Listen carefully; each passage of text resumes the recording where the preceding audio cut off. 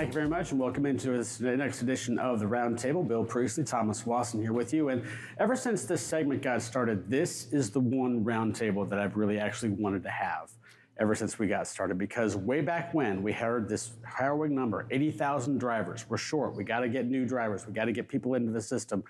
And these are exactly the two people that I want to talk with as well. We've got Jeremy Reymer, uh, of course, our host of Taking the Hire Road and CEO of DriverReach, and then also Leah Shaver from the uh, National Transportation Institute, president of that organization. Thank you both for joining us. Great to see you. Thanks for having us. Absolutely. So, 80,000 uh, drivers, that was the number that was mentioned a while back, and uh, we looked like we needed to be recruiting, recruiting, recruiting, recruiting. Uh, and now we've got we've heard reports the last three months, 10,000 plus jobs per month are coming back. Your reaction to what's happening in the industry? Jeremy, will start Still with you. Still a ton of demand for drivers. Jeremy, go ahead. I think the demand for drivers is, is still strong and it always has been strong. Uh, certainly, we've seen things slow down a, a, little bit, you know, here in the last few months. But that being said, um, we've this the underlying current hasn't changed in I mean close to 20 years that I've been in the industry. Yeah. Yeah, totally. As I started to say, probably overlapping with him, that there's still a huge demand for drivers. And uh, what we refer to as perpetual driver supply constraints really haven't changed. We we need younger people entering the industry. We have older folks that are exiting. Uh, we're still training a lot of people, and we still have, for the most part, a huge demand for drivers that have two years or more experience at most carriers. So um, the bottom line is, I, I don't think that number has changed too much.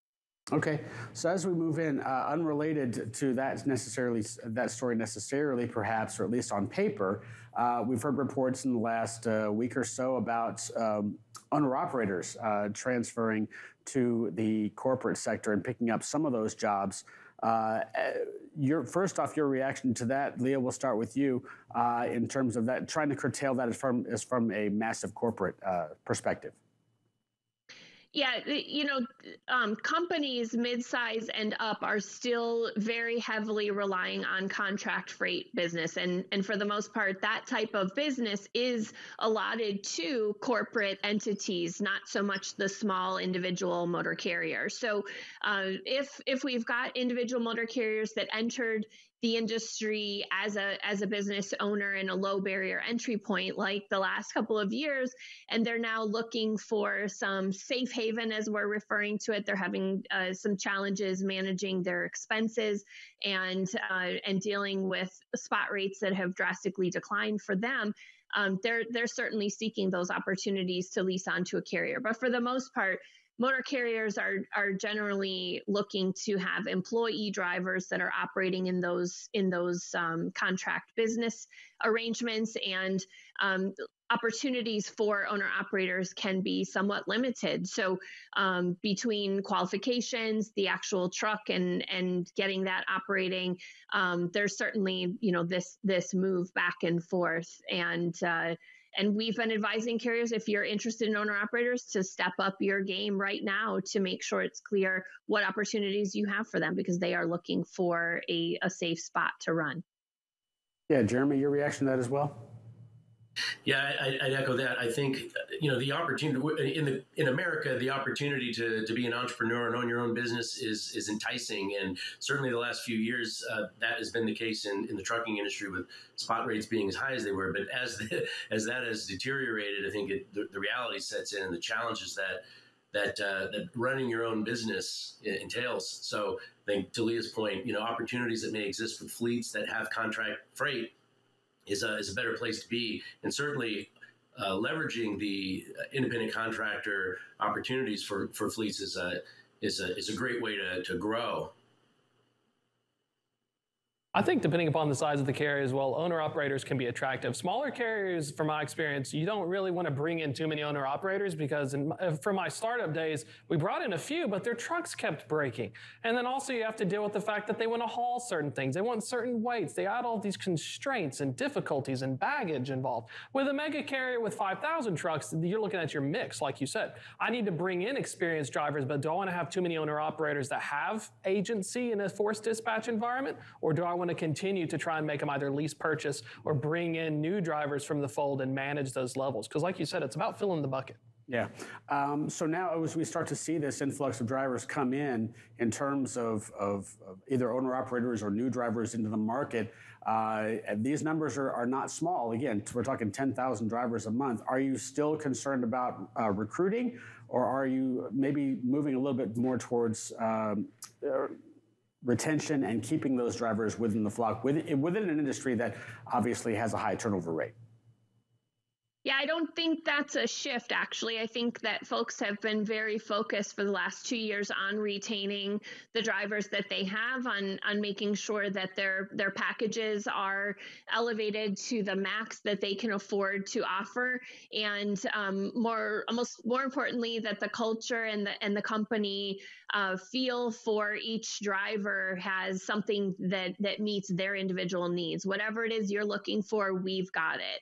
I, I don't think that there's going to be a shift in that perspective. In fact, I think it might even increase in in a time when um, when we still have an aging workforce we're you know as i mentioned before we still have a, a big demand and desire for drivers that have experience and so uh, they'll still they'll continue to amp up their retention efforts while maybe um, uh, moderating some of the recruiting uh, um, campaigns challenges to increase pay and other offerings a, uh, way ahead of typical standards. That's that's one thing that we've experienced in high numbers in the last two years. And um, this doesn't mean that that pay and package offerings aren't important. It just means that they take a little lesser uh, effort that they have in the last couple of years. Jeremy. Yeah, to add to that, you know, I remember back in 2008 and 2009. I don't think we're anywhere near that or approaching anywhere near that, but that was really tough. You know, right up to that point, though, we were talking about driver shortage for years. And, uh, uh, you know, once we got through that period of time, you know, this is the Great Recession, you know, that talk about driver shortage completely disappeared. The opportunity that presented itself, however, was an opportunity to upgrade or top grade your current, you know, the your personnel, you know, whether it's drivers or whoever. And I think certainly when things slow down, if things slow down further than they are, you know, today, there may be an opportunity to improve maybe some of your underperforming uh, folks that you've got on staff. But that being said, uh, the demand for drivers still, you know, continues to remain uh, strong, certainly strong enough. What you can probably do is not have to spend as much or focus as much on recruiting. Certainly take care of the ones you got, as I would expect to see uh, turnover uh, drop, you know, fairly significantly if things continue to, uh, to to maintain the same trajectory we're starting to see the last few months. Looking at strategies right now, we talked a, bit, a little bit earlier about how recruiting drivers with two or more years of experience, which can be a little bit more difficult sometimes because of baggages and making sure they meet it. With the economy and everything getting tighter right now, mega carriers normally bring in people straight out of CDL school. Is there a significant change in strategies to where now I need I can target more experienced drivers, or do I still need to continue bringing people straight into the industry and hope they make it through the first six month churn? Well, first of all, we always recommend a diversified recruiting strategy. You don't want to completely close one pipeline in in effort um, to recruit the next, and then find yourself uh, you know, imbalanced at, at, an inopportune time. But that said, um, there's there anytime there's a shift in capacity, absolutely, carriers generally speaking have a preference to a more experienced driver, and um, much like not needing to spend so much um, to attract drivers, they're they're absolutely going to choose the best qualified of candidates in front of them. And, and when it comes to qualifications, they may be very attracted to a, a highly experienced driver versus a new entrant. Yeah, Jeremy? Yeah, I think an opportunity, you know, carriers the opportunity to hire drivers that uh, have two plus years experience probably well it'd be a lot easier going forward assuming that we maintain the same trajectory that we're on. So from that perspective i think to leah's point having that uh, maintaining that balance really important. As you look at the quality of the applicant that is starting to come in and like i say if you're trying to go after someone with two plus years experience uh, or more it seems like also that there may be uh, certain frameworks where that that uh, pool of applicants, excuse me, could be quite restricted, uh, especially in view of what the FMCSA is talking about new regulations uh, the, in the uh, confirmation hearings. Uh, Hutcheson talked, or Robin Hutcheson talked about um, hair follicle drug testing. Are you worried, perhaps, or does, does this give carriers more of a chance to be a little bit more picky or restrictive, depending on the applicant pool, as these regulations may or may not come to fruition. Jeremy? I'll touch on that first. Um, you know, with the clearinghouse that exists today, you know, we've we've already seen 90 plus thousand drivers eliminated from the pool. I mean, that's a significant number, but that's that's what we want. That's what it was intended to do. It was intended to get drivers who are who are not safe off the highways. And so, from that perspective, we certainly want to continue down the path uh, from a from a highway safety standpoint. We want safe drivers on the roads. But that is going to reduce the numbers that you have out there, and so we certainly need uh, need to replace those. I don't. I would not suspect. Um, well, I'll say this: when it comes to hair follicle testing, I know that the the positive rate is is considerably higher, three, four, five times higher than the uh, than what urinalysis uh, reveals. And so, I would expect that number to increase significantly if that becomes a regulation that uh, in effect there are companies doing that already today and as a result they're you know not hiring drivers if they detect uh, you know from a hair follicle uh, positive test but unfortunately that is not uh, able to be reported to the to the clearinghouse and so that driver can go get another job somewhere else um, so it certainly has the potential if that becomes uh, able to be reported to the clearinghouse it has the potential to reduce that pool significantly assuming there are a lot of uh, users out there that are going undetected.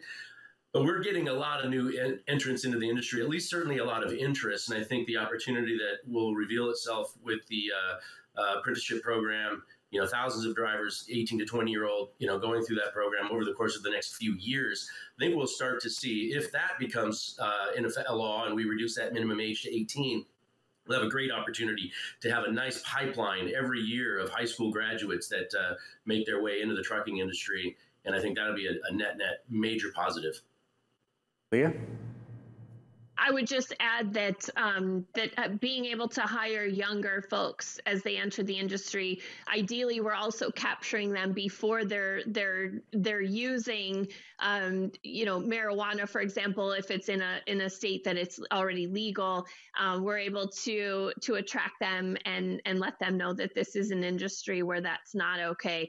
Um, I think that uh, hair follicle testing, much like the clearinghouse, simply allows for a greater amount of self selecting out of the industry. And so um, today we see many new entrants that that want to know what carrier doesn't do hair follicle testing.